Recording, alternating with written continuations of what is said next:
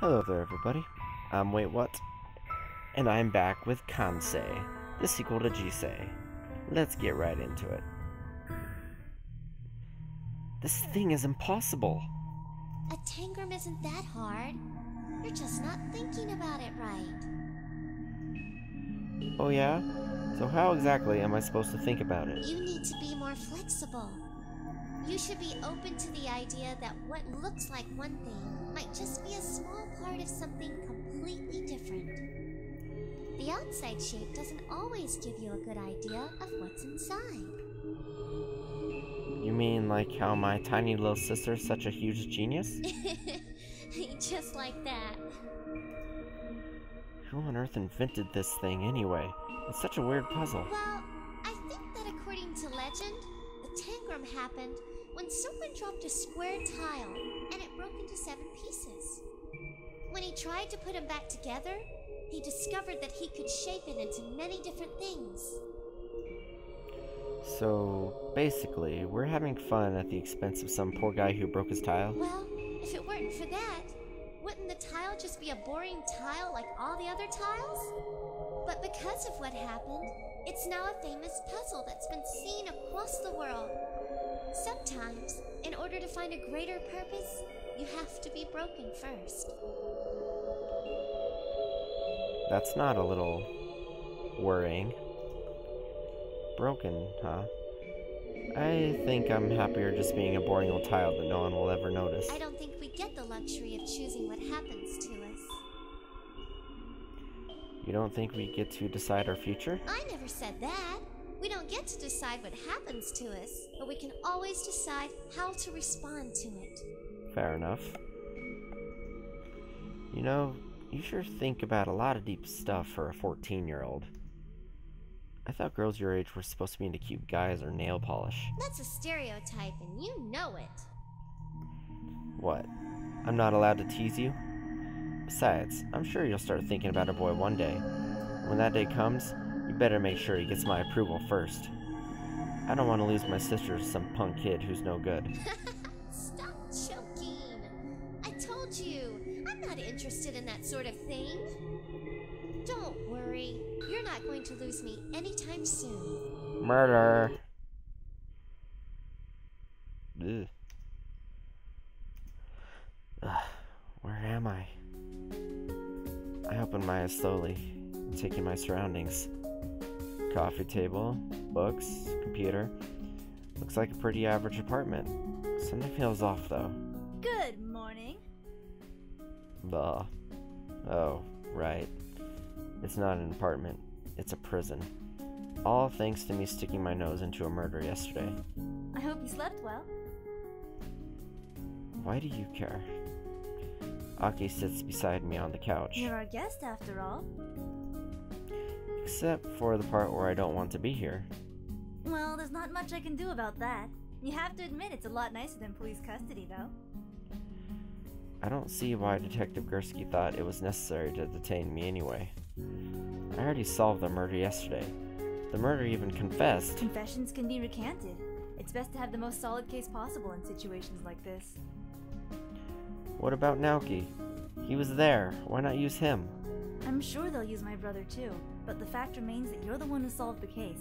That makes you the strongest witness they have. I roll my eyes. Whatever. There's plenty of painfully obvious evidence at the scene already. You hardly need me. You'd be surprised what expensive lawyers are capable of doing. We need the most airtight case possible. Miko might seem like a relaxed guy, but he's thorough. Miko? You mean Detective Gurski? Yeah, Mikolaj Gurski. Mikolaj. Interesting. You seem awfully familiar with him.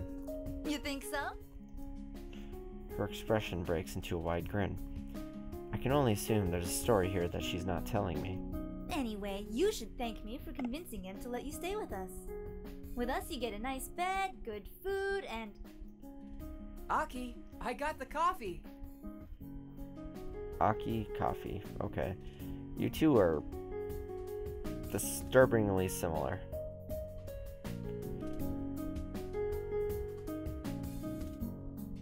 Well, They both have long hair, at least hers is longer, so I can tell that much. The whites in their hair are opposites. Ah, whatever. Naoki opens the door to the apartment, triumphantly holding up a cup of coffee. Coffee. Uh, Naoki stumbles as he enters, grasping at the air in an attempt to catch himself. A young girl with pale skin and white hair appears from the hallway and reaches out, calmly lifting the coffee cup from his outstretched hand as he falls forward. She steps to the side as Naoki goes crashing to the ground. The girl gazes placidly at Naoki lying on the floor. Be careful. True that. Oh. Good going, Naoki. Come on. ooh, nice save. The young girl nods and hands the cup of coffee to me before disappearing back into the hallway. Who was that? That's Li Mei. Uh huh.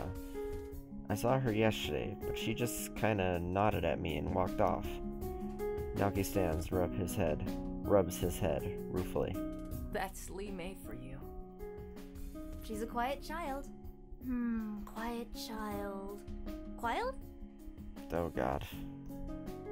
Anyway, there's too much going on in her head, so it's a little hard on her to maintain conversations. What? She's like a genius kid or something? Naoki and Aki exchange glances. What did I say? Not exactly. It's a little more complicated than that. Why don't we talk about it on the way there? There? Where are we going? To speak with our client, of course. It doesn't take long for us to leave Edgewater. I gaze sleepily out the car window and struggle to sit up straight in my seat. It's still early morning, and the city is only faintly outlined against the pale sky. I take a few sips of my coffee before dozing off completely. What? The cityscape outside the car has transformed into a country scene. I vaguely remember passing the big city, but I'm pretty sure I fell asleep after that. Typical. I gaze at the rolling countryside as it passes by. All I see are clusters of trees with telephone poles dotting the side of the road. Aki's driving is surprisingly sedated. Considering her personality, I expected a lot more road rage. She seems content to chug along slightly below the speed limit, even though the road is perfectly straight and no other cars are in sight. I feel like we're creeping along at an incredibly slow pace. I guess this is why we had to leave early. At least I get to sit in the front. Glancing in the back seat, I see Naoki dozing, his head resting on his chest. Li Mei is awake, but she's staring blankly out the window. Glad you're awake. Did you enjoy your sleep? No, not particularly. The seat feels lumpy. Now my neck hurts. Aki laughs and shakes her head. At least you're honest. Should we have gotten you something stronger than a triple shot? Oh yeah, coffee. I don't do coffee very well, do I? Doesn't do much for me. That's right. No, it's not your fault. It'll kick in soon enough. I look out the window again, trying to focus on the scenery. It looks like it looks like we're far away from the city by now. Any reason we had to leave so early? We have a long way to go to meet with our client, and he's the sort of guy who will get very fussy if we're late. Where are we going anyway? What are we supposed to be doing? Who's the client you're talking about? Wait, you said you were going to tell me about Li Mei, didn't you? You're overflowing with questions. I suppose I can't blame you. You're not the only one with questions, though. In fact, you're a pretty big question mark yourself. That is very true. And that is what I'm most interested, personally, with at the moment. Let's make a deal, shall we? You ask a question, then I ask a question. We'll trade answers. I guess that works. What should I ask? Where are we going? Uh, who are you people anyway? You work for high profile corporations like Auten Engineering. The police seem to trust you almost unconditionally. But you just look like a bunch of kids. Aki bursts out laughing. You're a kid too, aren't you? Yeah, well, We're a special investigation agency. Our work isn't always as exciting as corporate espionage and murder. More often than not, we're just snapping photos of cheating lovers. As for why the police trust us, that's sort of a weird story. That's for another question, though. Okay, my turn. What's your name? I was hoping you wouldn't ask that. You do realize how suspicious it makes you look when you hide it, right? It's complicated. Things are only as complicated as you want them to be, but I respect your privacy. The girl who can insert thoughts into my head whenever she wants respects my privacy. Ironic. We're going to have to call you something, though. Is Kongai okay? Gangai? Roughly translated, it means strong emotions. It's sort of a play on Kansei. Is that supposed to mean something to me? We call the ability to feel other people's emotions Kansei. It's like a super sensitivity. That explains a lot. Since you have a type of Kansei, we can call you Kongai. Kon Guy. Get it? Uh, yes, but it's stupid. I never claimed to be good at picking names. Try to think of something else, please. I'll see what I can do. I lean back in my seat and adjust myself, attempting to get comfortable. Is there any reason your car is so tiny? Is that your next question? No, I'm just saying that there's not much space here. Li Mei never complained about it. Yeah, well, Li Mei is tiny. Yeah, what's the deal with her anyway? Now that's definitely a new question. Right. What should I ask now? So the deal with Li Mei? Why did you have to get the police to trust you? I want to know both. So what's the deal with Lee? No. Yeah, no. Why did you have to do to get the police to trust you? We stopped the assassination of a visiting dignitary. You what? Everyone makes a big deal about it, but it was sort of a fluke. Naoki was trailing a businessman and secretary who were putting in extra hours at an expensive hotel. And He saw the assassin, thought it was suspicious, and called me in. We intercepted the assassin, saved the day, and apparently that makes us trustworthy heroes. seriously? Seriously. You'll forgive me if I find that hard to believe. A story like that is ridiculous. So, you're the boy with a kansei that allows you to experience the final moments of any dead body you touch. You should be used to the ridiculous by now. I guess she has a point there. Still doesn't sound like a real story though. Alright, next question. Where are you from anyway? Um, Los Angeles. I'd rather you don't lie about it. What? Miko told me about it. Yesterday, you told him that you were from LA, but when he asked you about precincts, you didn't correct him. In Los Angeles, police work districts, not precincts. I'm surprised he didn't cuff you on the spot for lying to him. Actually, no, I'm not. I turned my gaze back to the scenery outside, unsure of how to answer. Detective Gurski knew I was lying yesterday. Why did he let me get away with it? Did he recognize me? I don't remember him though. I've been living in Los Angeles for the past three years. Isn't that good enough? And before that? Only one question at a time, remember? Aki raises an eyebrow. Of course. Go ahead. Yep, so what's the deal with Li Mei anyway? Earlier you said there was a lot going on in her head. All of us have a sort of kansei like you do. We can all sense thoughts and feelings to some extent.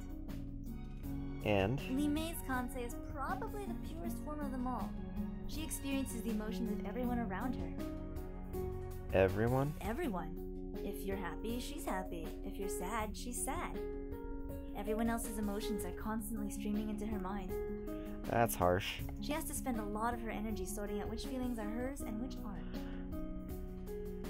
I turn to look at Li Mei. Her eyes are open, and her body isn't moving as she stares straight out the car window. Her mind must be a mess. I wonder if she can feel my pity for her. Can she even tell that it's me, or is it all mixed up inside of her? Oh man, should I even be feeling this way? She can sense that it's probably really demeaning to her that I'm feeling bad for her. I don't want her to think that I think of her as a poor little kid or something. I desperately try to conjure up another emotion to squash my current mood, but my mind is completely blank. For a brief moment, Li Mei glances at me from the corner of her eye. She nods slowly, almost imperceptibly, but I think she's trying to tell me she's okay. My turn now. Aki grins. Where did you live before Los Angeles? Somehow I knew you were going to ask that. Oh, am I really that predictable?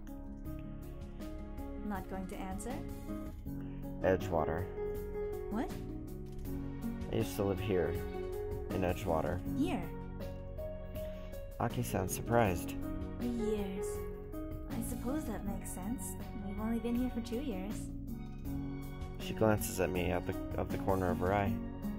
I'm sure she wants to ask more, but for once, she doesn't press, press the issue. Well, I guess that was my question. Your turn. Where are we going? A small estate out in the countryside. It belongs to one Mr. William Auten. Auten. Auten? As in Auten Engineering? Got it in one. So, he's the guy who hired you to track Sarah Blackmore because she was stealing information from him. Yep. Well, until she was murdered, that is. Yeah, there is that. We reported to him yesterday about what happened. You mean about how Miss Bergstrom hired Sarah to steal from him? That and the fact that Miss Bergstrom claimed a third party was also interested in the information.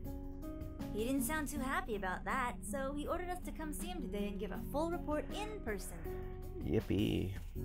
Wow, that's a little demanding. I can't blame him. His entire company's at stake here. I hope you don't mind coming with us. Since you were there yesterday, it seems only natural to bring you along. Yeah, I get it. I'm sure the real reason she's taking me along is because she promised Detective Gurski that she'd keep an eye on me. But I guess I don't mind talking to this Auten guy. It's not like I had any plans for today anyway. And it might be interesting to see the house of a millionaire. Why does Mr. Auten live so far out of the way anyway? Considering that his company is in the middle of Edgewater, would it make more sense not to live a gazillion miles from the place? Who knows? Word is that he really hates the city. His assistant said that he rarely leaves his house, conducting most meetings via satellite. Hey, I would love to have a job where I didn't have to leave the house. Like, you wouldn't have to commute, wouldn't have to. And you'd always just be in the comfort of your home during presentations or working on your own. Yeah, so. I can understand. Weird. His entire company is built on cutting, cutting edge technology, but he doesn't want to live around a couple stoplights. But yeah, in his case, it is a little different since such a big company owner. I'm rambling. Let's go. Aki shrugs. Rich people are eccentric. Comes with a job description, I think. Sounds more like paranoia to me. Maybe it is. You missed it. The turn. I jump a little as Li Mei speaks up from the back seat. She's been silent for so long, I almost forgot she was there. Li Mei is pointing at a small side road that we just passed. Oops! Aki gives the steering wheel a tight spin, and the car's tires screech as the car spins in the road. What? Ow! Naoki jerks awake as his head bumps against the window he was using for a headrest. Sorry, missed a turn. He revs his head slowly. Yeah, I noticed. I guess we're almost there. Yep, just a few minutes now. Anyway, what were we talking about? Right, Mr. Auten. He's one of those self-made men you hear about all the time, built Auten Engineering himself from the ground up. But he's also ridiculously secretive. No interviews, hardly any TV appearances. His assistant, Sophia Millerson, does most of that. The car slows to a stop as we approach Mr. Auten's house. I squint out the window to get a better look at it. Looks like a big, white box sitting in the middle of nowhere. Not much of a house, if you ask me. This is it, This is it! but it looks like a giant box with doors and windows. Yeah, it kinda does. I guess since he always stays inside, he doesn't care what it looks like on the outside. Aki kicks open the car door and leaps out. The front doors of the house swing open silently, and a strict looking woman approaches us. Are you the representatives from the agency? Yep, I'm Aki Mizutani. You must be Sophia Millerson. We spoke on the phone. Aki throws her hand out, but the woman merely raises a skeptical eyebrow. You're not exactly what I pictured. Looking at Aki's wrinkled shirt and dusty pants, I can see why she might be a little thrown off. Being a private investigator involves having an appearance that doesn't stand out, ma'am. Truly. The woman places her hands on her hips and sighs reluctantly. Well, come in. Mr. Auten seems unusually eager to speak with you. Aki kicks the car door shut and motions for us to follow her. I climb out and stumble for a moment as my knees buckle underneath my weight. Ugh, my legs are cramped from sitting in that car for so long. Sophia watches me impassively. She doesn't look impressed. Naoki comes stumbling out of the car after me, and we both do our best not to look like a pair of goldfish who've been dumped unceremoniously out of our bowl. Are these your associates? She was unimpressed before. She's plain worried now. I can't say I blame her. They are. Aki steps to the side, and Naoki and Li Mei approach Sophia. This is Li Mei, and this is my brother Naoki. Li Mei glides up to Sophia like a swan and offers her a polite bow. And he is? Sophia points at me. Aki stares at me, and a hint of panic shows in her eyes. I've already made it clear that I don't intend to give my name anyway, but I guess that puts her in a somewhat difficult situation. That would be. Kangai. What? Kangai?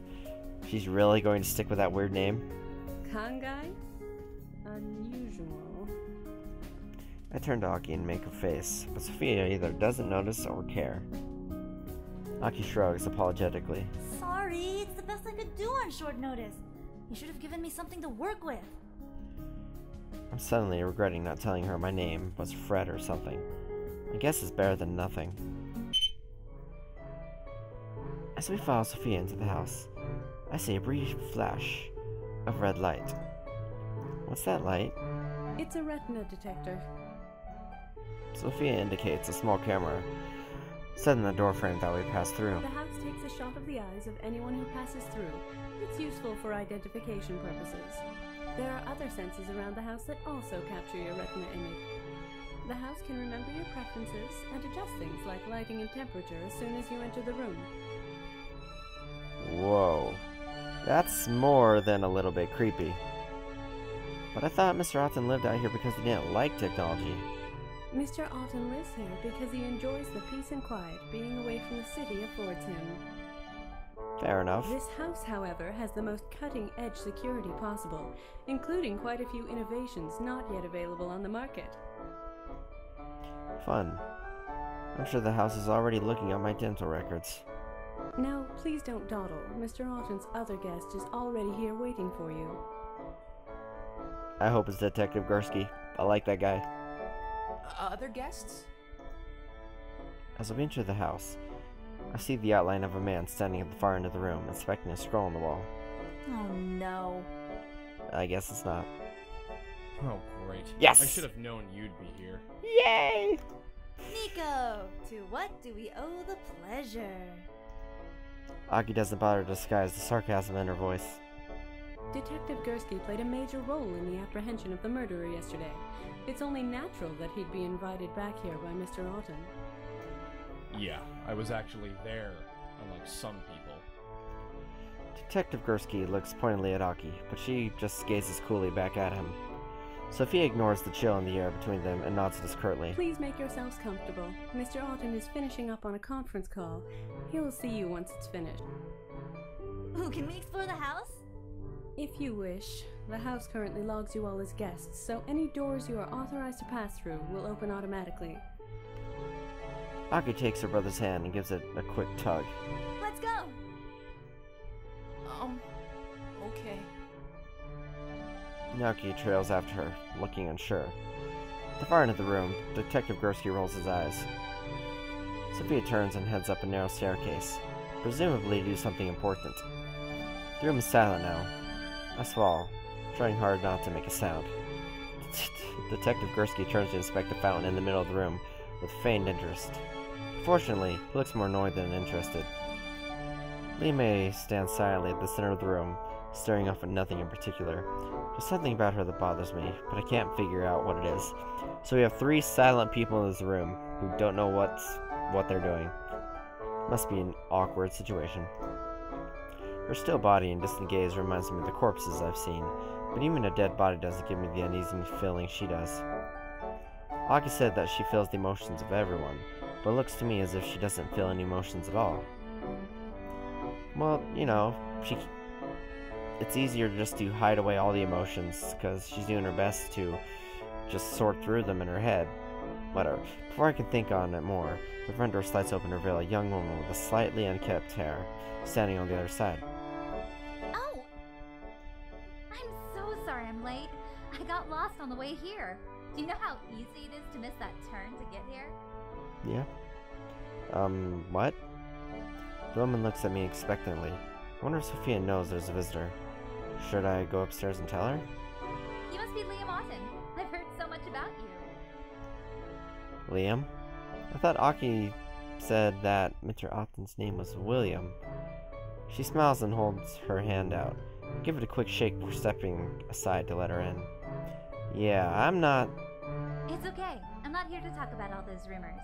Rich people always get the worst of it, don't they? She walks around the perimeter of the room, examining everything quickly with her eyes. And even if they are true, you're free to do what you want with your life. No one should judge you for your choices, right? I don't think. Oh, right. Marissa Klein from Modern Trends. I'm here for the interview. Uh. Hmm. Did your uncle not tell you about it? She flits around the room again, stopping to inspect the bamboo that stands like a guard by the hallway. Pretty! Is it real? I honestly have no idea. She looks up and notices Detective Gurski for the first time. Uh, oh, hello. She rushes up to him and holds out her hand. Marissa Klein. Yes. I, I heard. Marissa nibbles on the edge of her fingernail coyly. Oh, good. So we can skip the formalities and just chat? Is she flirting with him? I'm not sure I want to watch this. I'm afraid I'm only here for business, ma'am. She gives him a gentle push. Oh, don't call me that. It makes me feel so old. Or are you supposed to be all formal with me because you work here? I don't work here. Marissa's eyes grow wide. A guest? Even more interesting. She points to the fountain that Gurski is looking at. Are you an art fan? She reaches out to touch the dragon coiled around the glass sphere. Please refrain from touching the art. Marissa freezes as Sophia appears at the bottom of the staircase. Miss Klein, I presume. Yep. Sorry, I'm. You're two hours late. Mr. Auten has other business to attend to now. Wow. Hang on! I called and said I'd be late, though. I don't recall receiving such a call. Marissa turns to me and grabs me by the shoulders. You shoulders. didn't tell her? Tell her what? You're the one who answered the phone when I called. Why didn't you tell her? I just got here. I have no idea what you're talking about. Why is it that everything is somehow my fault? Marissa blinks and releases her grip on me. Wait, what's your name? Uh, con guy? I choke a little as I spit the name out. Sounds even dumber than when Aki says it. Oh my goodness, I'm so sorry. I thought you were Liam Auten. Yes, I gathered that much. Miss Klein, you may have called ahead, but the fact remains that you are very late, and Mr. Auten has a strict schedule. Wait, this is my first major interview. Is there any way I can squeeze it in today? Sophia sighs. Come with me. Oh, thank you. Marissa skitters up the staircase after Sophia. Detective Gurski is eyeing me with a quizzical look on his face. Here we go. Con guy? Yeah, what of it? Did Aki pick that name for you? Is it that obvious? She's notoriously bad at naming things. When she was a girl, she had a cat that was born with only a stub for a tail. She named the cat Stubtail. Great. I guess I should be grateful I didn't get saddled with a name like Kid who talks to dead people. I'm sorry you're stuck with those kids right now. If I had my way, I wouldn't group you in with them. What are you talking about? They all belong to the government. You know that, right? Wait, what? Yes! Miko, are you gossiping about me again? Aki enters from the hallway and slaps Detective Gurski on the back. I probably should be ending this episode any second, but I'm trying to find a good spot. I'd rather you don't feed our friend Con Guy here any misinformation. Well, I haven't lied to him if that's what you mean. Mr. Auten will see you now. Sophia descends the staircase with Marissa Klein in tow. Sophia looks even more annoyed than usual. Marissa's smiling, but it looks forced. Did you get your interview? Of course. It'll be a winner, so be sure to look out for it. She points her pen at me and jerks it back like a gun. Bang! Somehow, I doubt her article will win very much. Hey, Sophie. You don't mind if I have a look around, interview the staff, and other nonsense, right? She's suspicious. Seems to be taking all of Miss Millicent's strength not to strangle Marissa. Please make it quick. Right out. Marissa salutes and heads off down the hallway. Shall we get going? Sophia waits patiently for us to follow her. The five of us file up the stairs and follow her down a hallway to get to a glass door. And now is as good a time as any. I am going to end this episode here. Yeah, so far, this is pretty darn interesting. But, as usual, we're just setting things up. So, I hope you're enjoying it, and I'll be back with more real soon. Goodbye.